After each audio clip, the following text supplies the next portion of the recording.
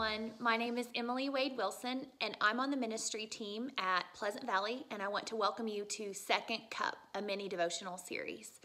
I want to share with you a few things that have been stirring in my heart this week.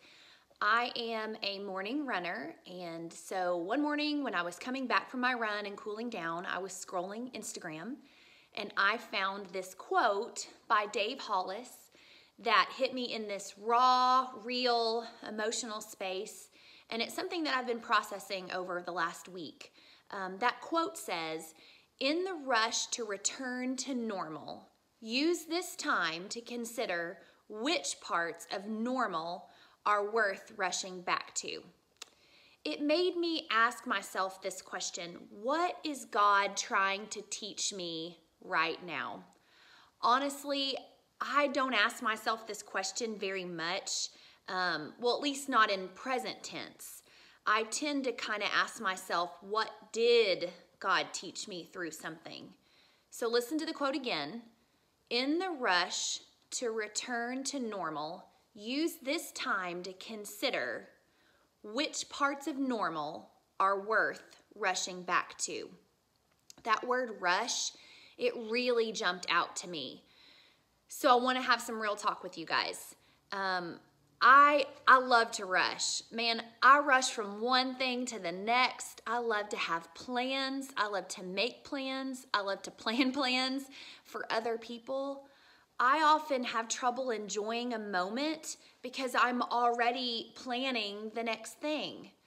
I struggle to sit still, to wait around, to even be present if every minute of every day isn't jam packed with something, I kind of feel restless and wasteful. I I want to say since COVID-19 shut the world down, I hadn't truly ever leaned into or processed what and who my plans are for. But I feel like God is using this unique time for me to examine my life. I can, in real time, think about all my rushing and all my planning and decide what and for whom these plans give glory. To be honest, this rushing around, it isn't for my Heavenly Father. It's mostly for me. It allows me to feel better about myself. It allows me to be all the things. Uh, rushing around allows me to check off boxes. It allows me to receive praise from other people. Like I said, it's about me and not about him.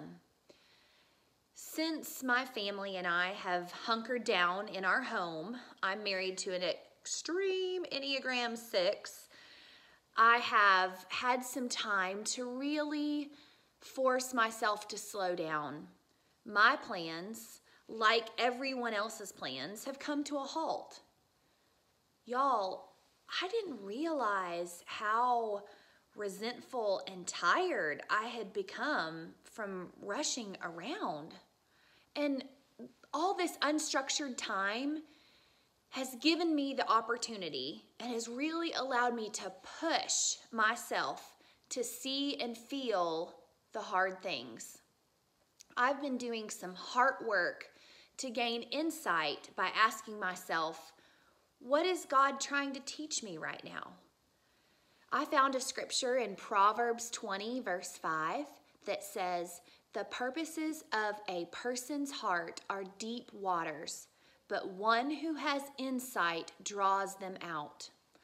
All people are made in the image of God each of us is born with a unique purpose and calling, and we can discover it or we can completely miss it.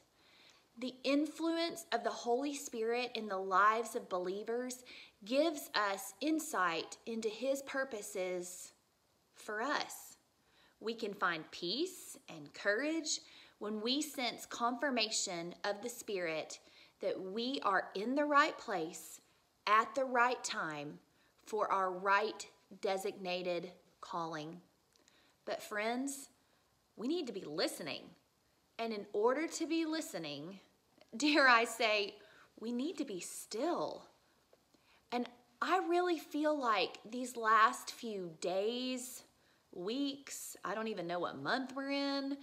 Um, it's it's been revealed to me that my rushing and planning it doesn't matter one bit if it leaves me a daughter of the king overtired overcommitted overscheduled overplanned with no time to see what he needs me to be doing for him.